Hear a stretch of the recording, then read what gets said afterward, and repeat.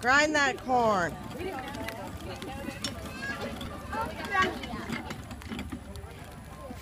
Do it again. Do grind it again.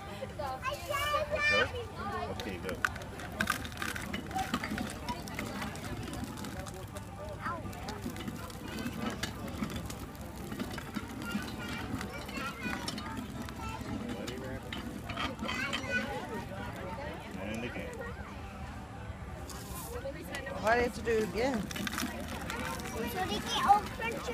That's why. Oh.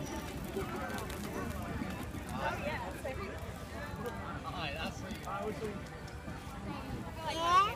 Yeah. Right now, right now. Inland Farm Heritage Day.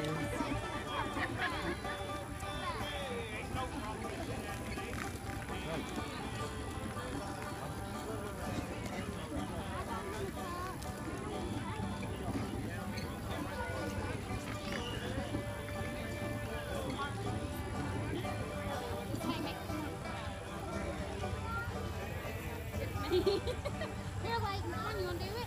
Come over here. I'm gonna put the corn in. Alright.